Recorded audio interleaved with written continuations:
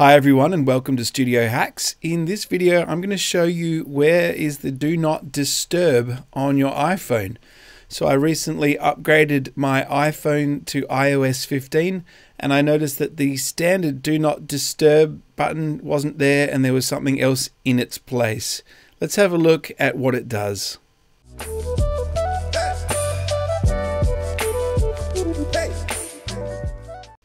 Okay, so when you swipe down from the top right hand corner to get the control center, on the older iPhones you will be swiping up from the bottom of the screen to get the control center. Um, I'm used to seeing just that little moon icon right there for the do not disturb and if you are nimble enough to just tap directly on that moon it will in fact just turn the do not disturb on. Um, but if we tap on where it says focus you'll notice that we've got a lot of other options now in iOS 15. Let's have a quick look at what they do because some of them are quite handy. So under the Do Not Disturb, we've got these three buttons here.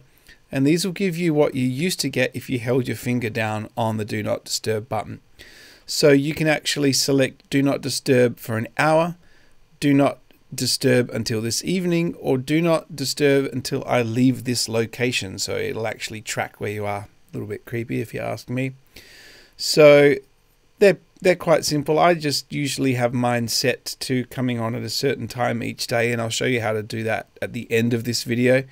Um, mine automatically switches on to Do Not Disturb at seven o'clock at night, and then it goes it goes back to normal at uh, 6 a.m. in the morning.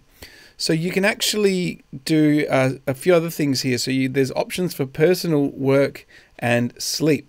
So under the personal, it says here allow notifications from important people and apps and silence the rest across all devices. So this is a little bit different to the, the normal do not disturb. Let others, and it will also let others know you're away with a status that shows your notification. So you can add people you, you allow notifications from. So you can do do not disturb, but you can let your wife, your mum, your dad, your best friend, your girlfriend, your boyfriend, whoever it is, you can allow uh, calls just from a certain amount of people. And so we can add those here. So the work focus option has the same as the personal focus, but it's got a turn on automatically. So depending on which hours you work. So let's say uh, I would just, while I'm at work, I only allow uh, my wife Let's say while I'm at work, I only allow my wife to text me. We can also access this sort of menu here, but a bit more detailed by going to the settings. And then if you scroll down, you'll see there's this new focus bar here. So we can go in and see all the settings that we've got. So for my work one there, I can actually add a schedule. So if I was at a certain location or from a certain time, or when I open a certain app, it will, you know, activate.